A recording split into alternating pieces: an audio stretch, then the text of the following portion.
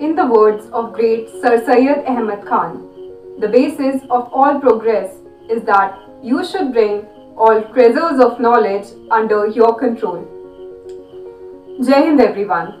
I Cadet Surbhi is here to tell you about establishment of Scientific Society by Sir Syed Ahmad.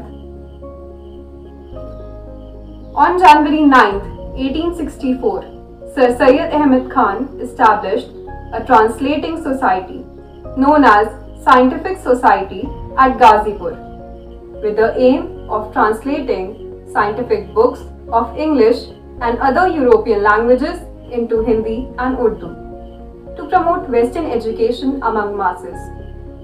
This society was moved in April 1864 to Aligarh and henceforth known as Scientific Society of Aligarh. Sir Syed assembled Muslim scholars from different parts of the country and the society held annual conferences, disbursed funds for educational causes and regularly published journals on scientific subjects in English and Urdu.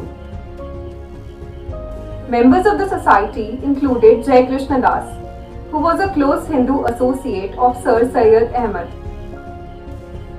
He was also nominated as the co-president of the society for life. Other members of the society were Muslim scholars, since Sir Syed Ahmad felt that socio-economic future of Muslims was threatened by their aversions to modern science and technology. So in many ways, Sir Syed Ahmad tried to bridge the gap between modern science and religion